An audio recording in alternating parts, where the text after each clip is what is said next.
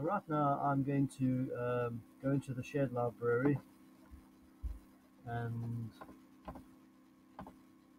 select work images and comes up with some pre-installed quotes.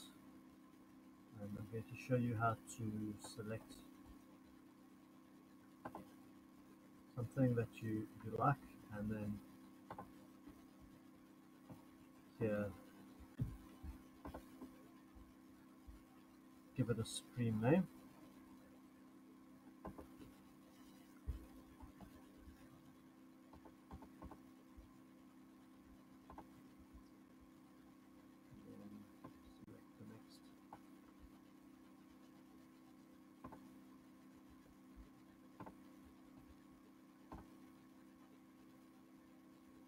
that to the same stream name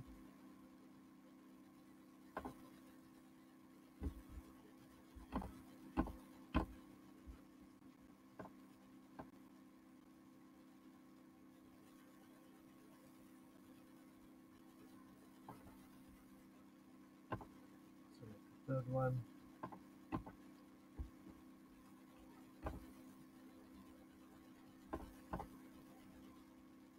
add this to the same stream name.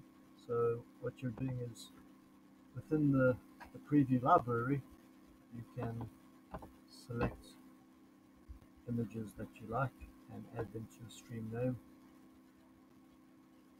So later you can then post that stream out to your social media platforms.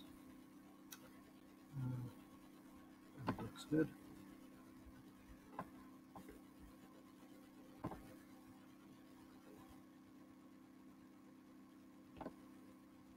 and so on. So you can just keep on adding quotes from the preview library and we will keep on adding new images to the library as time goes by. So that's one way of adding content to your streams.